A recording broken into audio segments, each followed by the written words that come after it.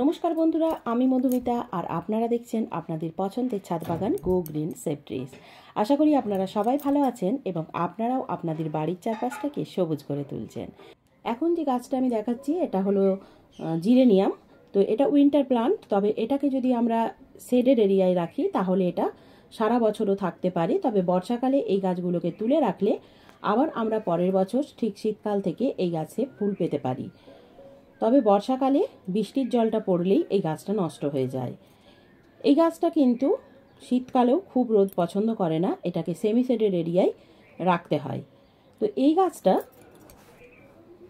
শীতের ঠিক মাঝামাঝি সময় থেকে একদম বসন্তের শেষ পর্যন্ত ফুল দেয়। এটার মিনিমাম চার থেকে পাঁচটা কালার হয়। এখানে চারটে কালারই হয়, আমি দেখেছি। তো এখানে তিনটে কালার আমার কাছে আছে লাল, গোলাপি আর সাদা। আরেকটা কালার হয়, সেটা হলো রানী কালার তো তিনটে গাছ আমি একদম থামপটে কিনে এনেছিলাম। সেখান থেকে আমি রিপোর্টিং করে এই গাছগুলো এখন এই রকম পর্যায়ে এসছে। এখন সম্পূর্ণ ফ্লাওয়ারিং করছে। তো এখানে এখন যদি আমরা নার্সারিতে যাই, তাহলে চার ইঞ্চি বা ছ, চার ইঞ্চির পটে এই সাইজের গাছগুলো আমরা পাবো। কিছুদিন আগেই আমি নার্সারিতে গিয়েছিলাম, তখন এই রকম সাইজের প্লান্টগুলোই ছিল। সেগুলো মিনিমাম একশো টাকা করে বা একশো কুড়ি টাকা করে পড়ে যায়। এই গাছের একটাই সমস্যা, যদি আমরা বেশি জল দিয়ে দিই, তখনই এই গাছের রুটসটা পচে গিয়ে গাছটি নষ্ট হয়ে যায়। না হলে কিন্তু গাছটাকে আমরা খুব কম যত্নে সেভ করে রেখে দিতে পারি এবং এই গাছটা থেকে প্রচুর পরিমাণে ফুলও পেতে পারি। আর এই গাছটার ফুল শুকনো হয়ে যাওয়ার পরে আমরা সিডসও কালেক্ট করে রাখতে পারি পরের সিজনের জন্য। তো এখানে এই যে গাছের যে মাটিটা আমি তৈরি করেছিলাম, তো মাটিটা হলো এক ভাগ পলিমাটি, এক ভাগ কোকোপিট আর এক ভাগ ভার্মি কম্পোস্ট দিয়ে আমি মাটিটা তৈরি করেছিলাম। এই রকম আট ইঞ্চির পটের জন্য হাফ চামচ নিমখোল হাফ চামচ সুপার ফসফেট আর ছোট চামচের এক চামচ ফাঙ্গিসাইড আমি মিক্স করে নিয়েছিলাম, যে মাটিটা এই পটটার জন্য আমি তৈরি করেছিলাম। দিয়ে সম্পূর্ণ মাটিটাকে মিক্স করে এই গাছটাকে রিপোর্টিং করেছিলাম। মাটিটা কিন্তু সব সময় ভিজে ভিজে থাকবে কিন্তু খুব ভিজে নয়। দেখুন, আমি এখানে মাটিটা তুলছি, মাটিটা হালকা ময়েস্ট আছে, কিন্তু বেশি ভিজে হলেই গাছটা নষ্ট হয়ে যায়। সেই জন্য জলটা আমাদেরকে খুব সাবধানে দিতে হবে। এইটুকুই এর যত্ন। আর মাসে একবার যদি আমরা এতে মিশ্র সার প্রয়োগ করে দিই, তাহলে প্রচুর প্রচুর পরিমাণে ফুল ফুটবে এই গাছটিতে। গাছ রিপোর্টিং করার পরে প্রথমেই আমি গাছে কিন্তু প্রচুর পরিমাণে খাবার দিয়ে দিই না, অথবা শীতকালের জন্য যে সারযুক্ত মাটিটা আমি তৈরি করে রাখি, সেটাতেও ছোট ছোট চারা গাছ আমি রিপোর্টিং করি না। আমার যে গোবর সার আর মাটিটা মিক্স করে রাখা থাকে কাটিংস বসানোর জন্য আর নতুন চারা গাছ বসানোর জন্য, সেই মাটিটাই আমি ছোট চারা গাছ রিপোর্টিংয়ের কাজেই ব্যবহার করে থাকি এবং কাটিংস বসানোর কাজে ব্যবহার করি।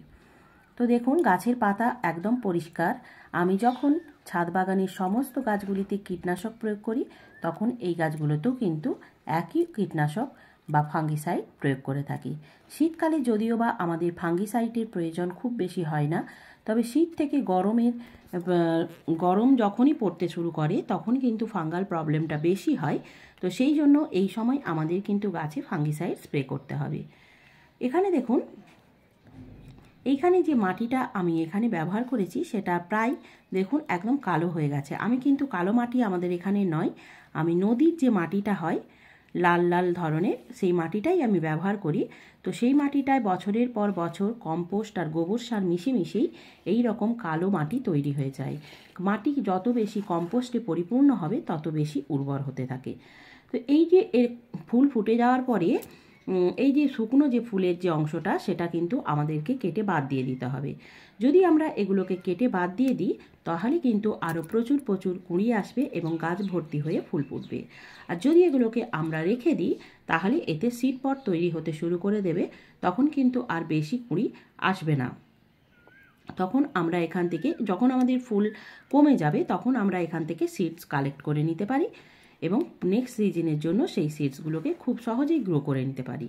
আরও একটা, যে এর যে, এই গাছের যে নিচের দিকের এই বড় বড় যে পাতাগুলো, সেই পাতাগুলো যদি আমরা এইভাবে কাঁচি দিয়ে বা কোনো কিছু দিয়ে কেটে দিই, তাহলে কিন্তু প্রচুর প্রচুর ডাল বেরোবে এবং প্রত্যেকটা ডাল থেকেই আসবে কুঁড়ি। এতে কী হবে? গাছে যেমন ডালের পরিমাণ বাড়বে, তার সঙ্গে সঙ্গে ফুলের পরিমাণও অনেক গুণ বেড়ে যাবে।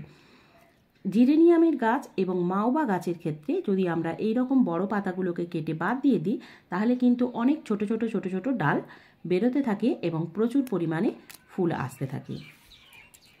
তবে এই গাছে বেশি করে লিকুইড ফার্টিলাইজার প্রয়োগ করা না প্রয়োগ করলেই ভালো হয়।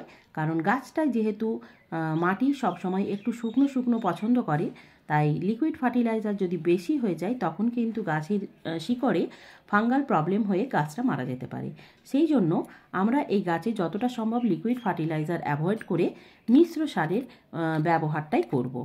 মিশ্র সার এখানে আমি যেটা নিয়েছি, সেটা নার্সারি থেকেও আপনারা নিতে পারেন। নার্সারিতে মিশ্র সার পাওয়া যায়। সেই মিশ্র সারটাই এই যে গাছটা আছে, এই রকম দেখুন, এখানে যে চামচটা, এই চামচের হাফ চামচেরও কম। নিয়ে এইভাবে ধার বরাবর আপনাদেরকে দিয়ে দিতে হবে। ধার বরাবর কিন্তু আমাদের সার প্রয়োগ করা উচিত এবং মাটিটাকে হালকা করে খুঁড়ে দিয়ে যদি জল থাকে তাহলে জল দেব না, যদি জল না থাকে তাহলে আমরা গাছে অল্প করে জল দিয়ে দেব। কিন্তু সার প্রয়োগের পরে বেশি করে জল দিয়ে দেবেন না, যাতে তলা দিয়ে জলটা বেরিয়ে যায়। যদি সার প্রয়োগের পরে আমরা ভর্তি করে জল দিয়ে দিই এবং তলা দিয়ে জলটা বেরিয়ে যায়, তাহলে কিন্তু আপনি যে সারটা প্রয়োগ করলেন সেটা পুরোটাই আপনার জল দিয়ে বেরিয়ে গেল, অর্থাৎ ওয়েস্ট হয়ে গেল। সেটা আর গাছের কোনো কাজেই লাগবে না। মিশ্র সার প্রয়োগের ঠিক তিন থেকে চার দিন পর আমরা যদি গাছে অ্যাগ্রোমিন গোল্ড বা বায়োভিটাক্স যে কোনো ভিটামিন একটা স্প্রে করে দিতে পারি, তাহলে কিন্তু গাছের গ্রোথ এবং হেলথ দুটোই খুব ভালো হয়।